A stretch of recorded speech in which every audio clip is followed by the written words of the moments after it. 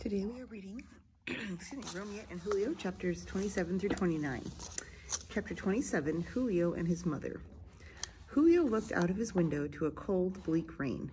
It had rained all day, but he didn't care. The sun was shining in his heart, in his room, in his world. The day was bright with thoughts of Romiette. Her smile, her giggles, her laughter.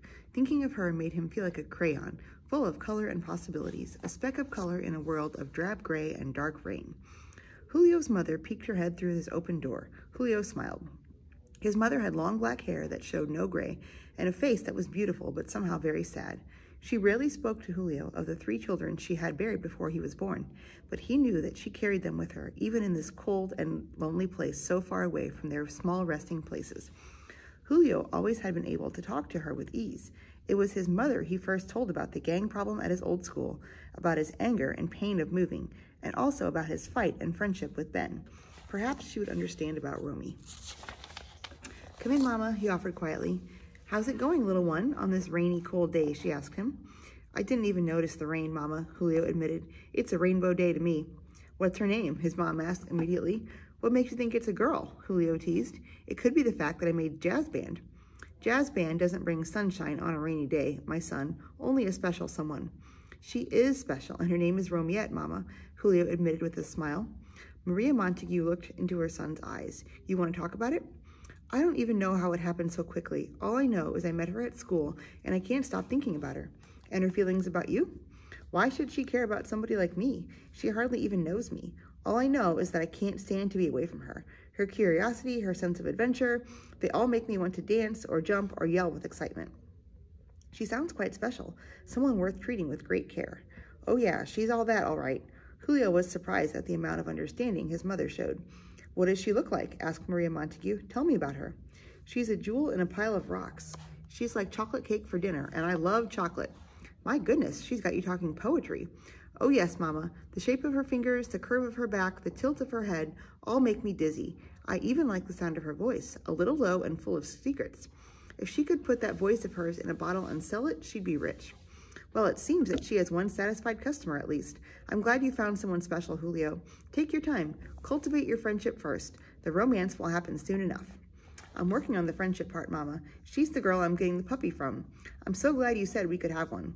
I'm going to her house Sunday to get it. I wonder if her parents will be there and what they'll think of me. Maybe they won't like me. Of course they'll like you. What's not to like? But you're my mother. You have to, to like me, Julio grinned. And sometimes that's not easy, she smiled back. Go to her house, be yourself, and don't worry so much. If you see something golden in this girl, then her parents must have done a pretty good job of raising her, so they must be pretty special as well. You're sort of smart, Mama. I remember the feeling of young love. You feel as if you have found your dream, and you can't stop smiling. Julio smiled. You got that right.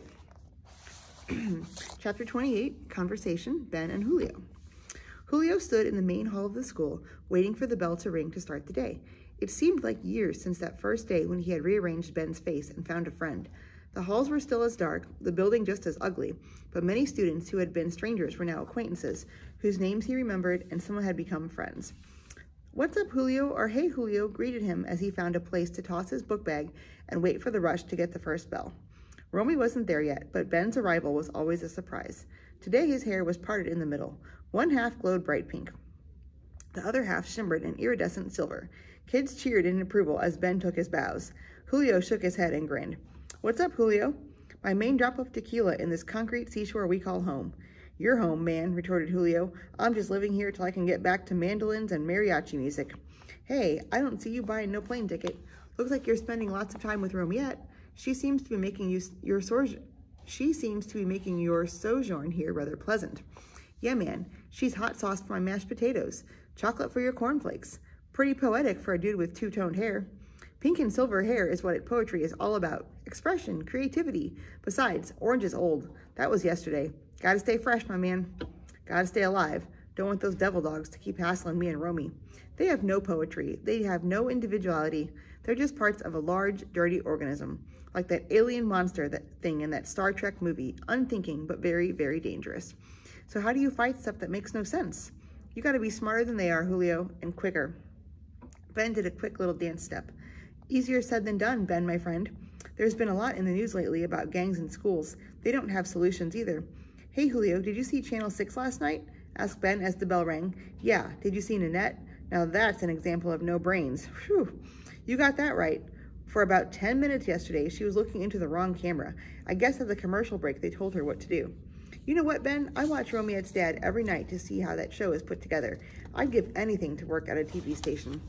And you get Nanette Norris as an extra treat. Don't remind me. Why do you think they keep her on the air? Who knows? So why don't you ask Romiette's dad for a job? A job? I've never even met him. I'd be scared to death just to be in the same room with him. So let Romeo ask him. No, maybe by summer I'll get enough nerve, or I'll go down and apply for a summer intern job on my own. I don't believe in people asking for favors. There's the warning bell. I think I'll go to class on time today and give the teacher a heart attack. Ben jogged down the hall and around the corner. Later, Julio, he called out. Julio grinned and went into his own class. Chapter 29, Hall Conversation just before lunch. Romiette was in a hurry. She hadn't seen Julio all day. She'd missed him earlier that morning in the front hall and hadn't run into him between classes the way she usually did. Teachers talked extra long, or someone asked her a question, and her timing had been off all day. Just as she got to the lunchroom steps, Malika stopped her. Can I speak to you, Romiette? Looks like you're already doing that, said Romy. Romy replied with a glance. What you been up to, girl? I don't see you much at lunch anymore, Malika challenged. I usually eat with Julio, Malika. I guess the whole school knows by now. Romy wanted to rush by Malika and up the steps, but she knew it was better to act unconcerned. Malika knew she was interfering with Romy's plans. She spoke slowly and with purpose. You got that right. You know, you got the devil dogs on edge. Why should they care who I eat with? It's a pride thing, a turf thing. You know how it is. No, I guess I don't. I'm minding my own business, eating my own lunch, and talking to my friend. Why should they care? And you sound like you're on their side. Romy was getting impatient. I'm not on nobody's side. I just figured I'd warn you that they don't like what you're doing. They wouldn't like it if you were eating with a white boy either. That's just the way they see things. How do you know so much? How how do you know so much how they see things? You still talking to Terrell? Yeah, me and Mr. T, that's his gang name, we're pretty tight. You know how that is. I really shouldn't even be talking to you, but since we're friends, or used to be, I figured I'd let you know they're watching you. You still didn't tell me what they plan to do. I don't really know. I just know that you better stay away from places where you might be caught alone, like bathrooms and stuff. Romy was incredulous. She gaped, she gasped in surprise. I can't believe this. Are you for real? Malika was unruffled. Real as a heart attack. What about Julio? What about him? Is he in any danger? If he don't learn the rules, he might have to be taught a lesson. What rules? Who made up these rules? How can he follow laws when he doesn't know what they are? The devil dogs don't want to hurt you because you're one of the sisters on the list. You always dressed like a sister and hung with the sisters, so there was no problem. But now you're about to get cut off the list, and that's dangerous. The list? You're talking crazy. Romy was angry, irritated, and very late for lunch now. I'm trying to get some basic stuff into your black head, and never forget it, it is black, Malika reminded Romy. If you get cut off the list, you got no protection. I never asked for any protection from some gang. I don't want it or need it. Romy was so angry she wanted to cry, but she refused to give Malika the satisfaction. Suit yourself. That Mexican ain't got a chance. What did he ever do to you, or to anybody black? Romy asked in disbelief. Nothing. We just don't need no foreigners around here mixing it up with the sisters. He's not foreign. He was born in this country just like you were. Doesn't matter. We don't want him here. You're treating him just like whites treated us. Don't you think that's a little stupid? Romy asked, trying to appeal to Malika's sense of reason. I don't make the rules. I just pass on the information. Gang rules, gang laws, things change. You sure have changed, Malika, Romy said angrily. You used to think for yourself.